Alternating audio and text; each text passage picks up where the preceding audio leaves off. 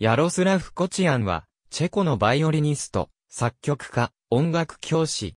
プラハで、オタカール・シェフチークに師事し、ヤンクベリークと並んで、シェフチーク学派の春英と呼ばれた。演奏家としては、J.S. バッハのバイオリン作品の解釈で名高い。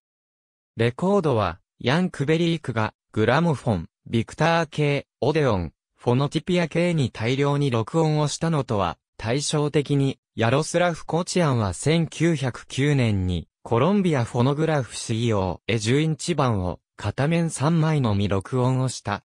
古い録音で、機械式吹き込み法時代の SP 版しかなく、プレスは大量にされているのだが滅多に見かけることがない。パブロ・デ・サラサーテや、ヨーゼフ・ヨアヒム、ヤン・クベリークのように LP や CD に復刻されていないため、研究者や吸盤レコードの収集家からは、現在も注目されている。教育者としては、長年プラハ音楽院で教鞭を取り、ヨセフ・スークラを育てた。スークは、恩師のバイオリン作品を録音している。ありがとうございます。